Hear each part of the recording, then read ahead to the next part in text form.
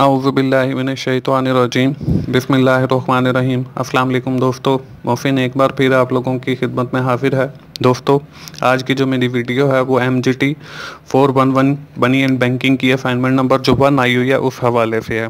दोस्तों, जिन दोस्तों ने अभी तक मेरा चैनल सब्सक्राइब नहीं किया है, वो जल्दी से मेरा चैनल सब्सक्राइब कर लें, ताकि मेरी हर आने वाली जो वीडियो है, वो आप लोगों तक पहुँच सके और आप भी उस वीडियो से सीख सकें। और साथ बेल के आइकॉन पे भी ज़रूर क्लिक करें, ताकि जब भी मैं कोई नई वीडियो अपलोड करूँ तो उसकी जो अलर्ट है, वो सबसे पहले आपको मिल सके। तो चलिए हम लोग अपनी असाइनमेंट की तरफ़ चलते हैं। दोस्तों, हमारी ये जो असाइनमेंट है, इसमें हमें दो ही क्वेश्चन दिए गए हैं। In a first question we have to calculate the present value of fixed percent coupon bond maturing in in 3 year at 4% current interest rate. The bond have $100 face value. I'll uh, explain what happened to it present value if interest rate goes to 5% and 3% you are required to show complete calculation of present value at 4%, 5% and 3% respectively and explain the relationship between the present value and the interest rate on the basis of result और उस result के इसमें हमने present value calculate करनी है of a bond और different interest rate के ऊपर कैलकुलेट करनी है। First of all we have to calculate the present value of a bond on a three percent then four percent and five percent after calculating the present value of this bond, we have to identify what is the relationship between the present value and the bond interest. कि उनका आपस में क्या relationship है, वो भी हमने बताना है। In the second question we have to calculate the bank calculate the nominal price हमने नॉमिनल रेट कैलकुलेट करना है in which a bank offer six percent interest rate on your deposit what will be the real rate of return of your deposit if expected inflation uh, to be 4% in future. Also explain the context of future equation. What comp uh, compensation a borrower is giving to the lender when nominal interest rate ये हमने करना है second question के अंदर। तो आइए हम लोग अपने सोल्यूशन की तरफ़ चलते हैं। इसमें जो हमारे पास फ़र्स्ट जो क्वेश्चन है, दोस्तों, यहाँ पे तो वैसे ही आया हुआ है। मैंने इसको सबसे पहले जो है एक्सेल के अंदर कैलकुलेट किया तो जो एक्सेल की कैलकुलेशन है, वो भी मैं आप लोगों को दिखा देता हूँ, ताकि आप लोगों को उससे ज़्यादा अंडरस्टैंडिंग आ जाए। तो ये हमने एक्सेल ओपन किया। एक्सेल ओपन करने के बाद जो हमारी एक्सेल की शीट है वो ये वाली एक्सेल की शीट है जी। इसमें देखें the price of bond calculation using the formula as हमने ये फार्मूला एक यूज़ किया है uh, इसके ज़रिए मैंने मतलब इसको कैलकुलेट किया है। इसमें बॉन्ड प्राइस है equal to fee into one minus into one plus R और उसकी पावर जो है माइनस एन और डिवाइडेड बाय आर और प्लस किया हमने एफ़ और divided by one plus R और उसकी पावर एन अब इसमें एफ़ क्या है जी? एफ़ जो है वो फेस वैल्यू ऑफ़ बॉन्ड है फ़ी है जो वो कूपन वैल्यू ऑफ़ बॉन्ड है, और एन जो है वो नंबर ऑफ़ ईयर हैं, और आर जो है वो इंटरेस्ट रेट है।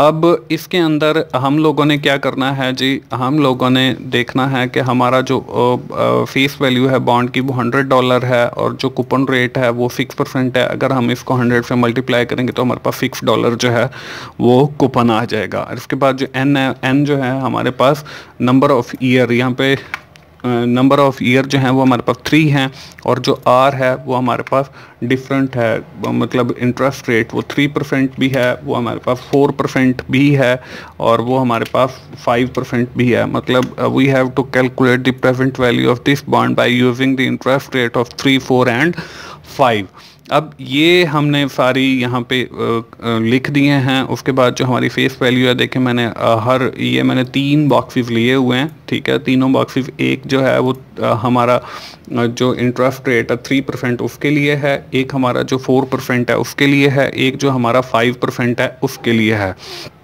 उसके साथ ही यहाँ पे जो जो ऊपर वाला फार्मूला है उसके बाद कूपन रेट मैंने फिक्स सारों के लिए सेम है, उसके बाद नंबर ऑफ़ ईयर वो हमारे पास थ्री हैं, वो भी सारों के लिए सेम है, उसके बाद number of rate of interest है, वो हमारे पास थ्री फोर फाइव अब बॉन्ड की प्रेजेंट वैल्यू या बॉन्ड प्राइस वो हमारे पास हमने निकालनी है with the help of the this formula वो यहाँ पे देखें मैंने ये सारी एक फार्मूला जो यहाँ पे बना हुआ है, वही मैंने सारा यहाँ पे लिखा है तो हमारे पास जो बाउंड की वैल्यू है by using the three percent वो 108 आ गई है।